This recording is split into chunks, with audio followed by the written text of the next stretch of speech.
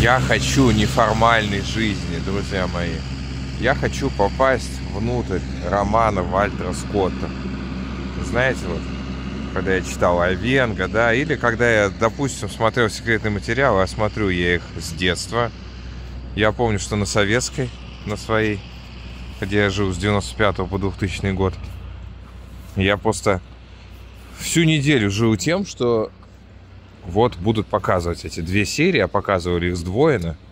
Две серии показывали за вечер. Но не помню, вечер это был или нет. Что-то мне сейчас вспоминается, что вроде как было светло. Я их смотрел в своей красной гостиной. Ребята, и отсылаю вас к повести Бальзака «Красная гостиница» называется. Не гостиная, а гостиница.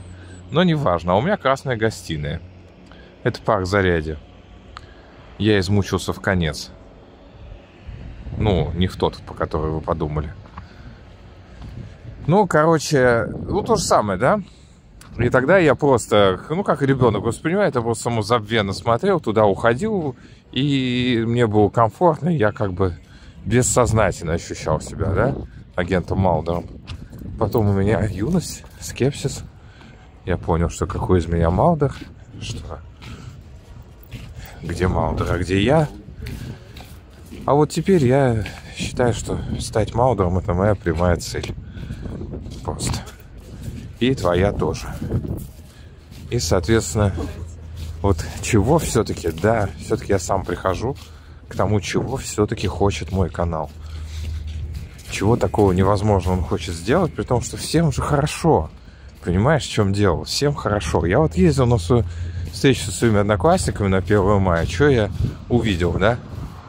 Что всем хорошо, что на самом деле хуже всего мне самому.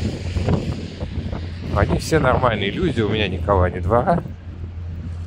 Ну, конечно, я сам в этом виноват. Здесь ясен пень.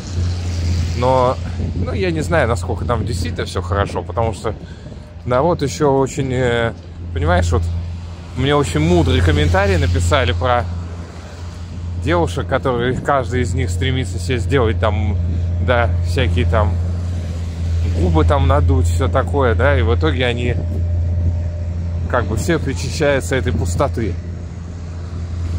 То же самое народ, он очень э, любит, на самом деле, показуху, не случайно, как говорится, на, на этом очень... Зло очень любит на этом играть.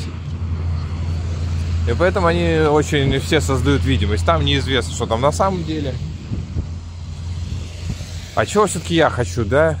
Ну, я уверен, что, кстати, я думаю, хотя я не уверен, конечно, я думаю, что мои одноклассники не будут зрителями моего канала, потому что мой канал, он ну, настроен на какие-то... Он, он, он, по сути, антисемейный, анти такого, как бы, да, очень неформального склада абсолютно.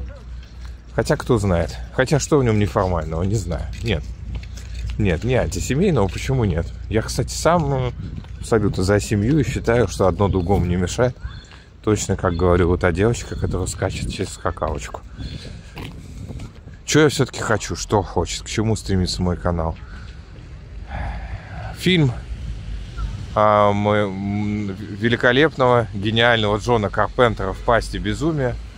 Пожалуйста, если вы смотришь это видео, отключай его нахрен, найди этот фильм и посмотри. Это, я считаю, что это величайшая кинематографическая удача. И, конечно, если бы я снял такой фильм, я бы просто на все бы поливал с высочайшей колокольни. Все вопросы с меня были бы сняты. Да они и так сняты. Все правильно. Борис Гребенщиков сказал. Наш священный Борис Гребенщиков. Душа земли русской. Сказал, что мы воюем сами с собой. Ну, примерно. Это так звучит, да? Потому что, да никто, никто никому ничего не должен. Ну, просто... А, не, ну понимаешь, у меня какое удачное сочетание. У меня же, понимаешь, у меня сплав философии и рок-н-ролла. Вот в чем дело голова у меня варит хорошо. И достаточно она у меня, кстати говоря, прагматического склада. Вполне себе. И э, я абсолютно не чужд такого карьеризма в хорошем смысле этого слова. А так и должно быть. Потому что вот вчера, вчера только я посмотрел про то, как Чак Норрис шел к вершинам успеха. Кратко только скажу, что вроде как что-то с прокатчиком не удалось договориться, и они сами в частном порядке договаривались с кинотеатрами. И в каждом кинотеатре отдельно сами что-то продавали билеты и значит, приходили туда с лентой фильма, что я, кстати, слабо себе представляю, но Дэну я доверяю, киноразвертка, киноразвертка от Дэна канал. С ним я, кстати, хотел познакомиться. Поближе предложить ему беседу. Он говорит, что да. Ну, то есть, что до крутого Уокера ему пришлось очень даже пройти, что называется, путь. Ну, то же самое Лед Зеппелин там, допустим. Джимми Пейдж, он... Это только кажется, что он такой красивый рокер, прыгает с гитарой, бросает эффектные взгляды на девушек. Нифига подобного. Во-первых, это титанический музыкант. Абсолютно как вот а, тот, значит, Зикурат в фильме «От заката до рассвета». Во-вторых, он там прекрасно принимались нужные меры для того, чтобы это все дошло до публики, для того, чтобы это все осуществилось. Это были, что называется, не тела в повалку в студии, как кто-то рассказал про группу Rolling Stones, что якобы они были удолбаны и лежали просто в студии не могли языком пошевелить. Не знаю насчет этого. Не знаю. Может быть, когда-то это и было, но это люди достаточно целеустремленные. Ну так вот. Но при всем при этом мне реально самому хочется понять, конечно, что я хочу. И хочется найти определение тому, тому месту, куда я стремлюсь сбежать. Почему я еще сказал попасть в безумие? Потому что там писатель целый город утянул свою книгу «Параллельные измерения». Целый город. Я как эту посмотрел, просто меня просто меня торкнуло хорошо, потому что, собственно, моя книга же про Мариэл, да, целиком и полностью. И я подумал, что я бы тоже мог бы всю Мариэл утащить внутрь своей книги. Как бы это было, а? Все эти деляги и не деляги. Все бабаха оказались бы внутри моей книги.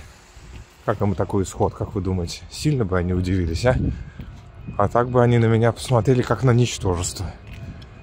По идее, как говорится, обивать пороги. Что называется. Провинциальных бизнес-систем. Бизнес Хотя я... Зря я когда так говорю, совершенно. Я никогда не считал, что это провинция. Кстати, говоря, вам хочу сказать, что... Да, допустим, мог сейчас неправильно выразиться, но я на самом деле на стороне Мариэл гораздо в большей степени, чем те, кто в ней живет. Это уже неоднократно мною самим было замечено. Поэтому возможно, что этот канал это отчасти как в фильме «В пасти безумия», как канал, который пытается, значит, какую-то открыть, может быть, котовую нору. Но вот куда эта котовая нора ведет – и что это такое, к чему я сам стремлюсь, я понимаю пока что смутно. Но потому что раз я хочу серебряную кнопку YouTube, то я уже должен, конечно, это четко понимать, правильно?